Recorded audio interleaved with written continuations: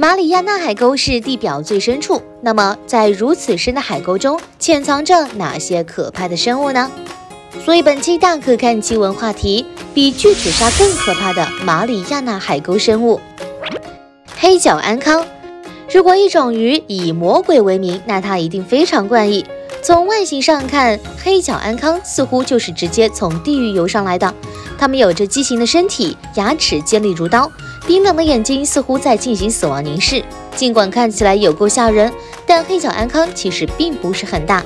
雌鱼的体长一般为二十厘米，雄鱼则小得多，可能只有两点五厘米长。它们的头部长有凸起，末端悬挂着一个发光的诱饵，用于吸引不幸的猎物。凭借一张可怕的大嘴，黑角安康实际上能吃下比它自身更大的生物。欧式剑吻鲨，一般的鲨鱼都有非常发达的肌肉，行动迅速敏捷，异常凶猛。但是剑吻鲨的肌肉却松软无力。它的身体的其他特征也表明它们行动缓慢。当然，剑吻鲨也不是吃素的。它扫过海底，当探测到小鱼、螃蟹或鱿鱼的时候，会将双颌突然伸出，咬住猎物。它们的牙齿十分尖利，咬住猎物后可以直接整个吞咽下去。皱鳃鲨，皱褶鲨看起来就像由多种生物混搭而成的怪物。它们有鳗鱼一样的圆形身体，脑袋扁平，就像某种陆地恐龙的头，和许多古老的鲨鱼一样。这一物种的起源也可以追溯到近八千万年前。它们通常能找到一点八米长，具有二十多排三叉戟形的牙齿。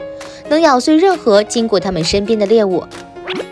食骨蠕虫，食骨蠕虫这种动物看起来像科幻小说里的某种生物，可以吞噬地球上一些最大动物鲸类的坚硬骨头。食骨蠕虫没有胃口和肛门，它们会分泌酸性物质，利用共生细菌将骨头中的蛋白质和脂肪转化为营养物质作为食物。小飞象章鱼。这种章鱼长着很像大象耳朵的鳍，因此被形象地称为小飞象章鱼。它们的体长在二十厘米左右，显得十分卡通。这种章鱼的生命力十分顽强，它们是科学家所知生活环境最深的章鱼，在三千米到四千米之间活动，喜欢将猎物整个吞下去，因此它们在进食的时候可能看起来就不那么可爱了。管眼鱼。在幽暗的深海，光是一种稀有而珍贵的东西，而眼管鱼就进化出了一些利用光线的不寻常特征。这种鱼的头部是透明的，其内部有两个灵敏的筒形眼睛，便于观察到猎物的轮廓。深海腐鱼，这种鱼类长得就像人类所用的工具斧子，身体瘦得出奇，而且很多都有闪闪发光的鳞片，看起来更像是银光闪闪的斧头。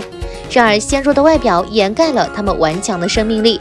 它们通常生活在近一千五百二十四米的深处，具有生物发光的能力，能巧妙伪装、隐藏自己的身体，逃过捕食者的攻击。好了，本期视频到此结束，感谢观看。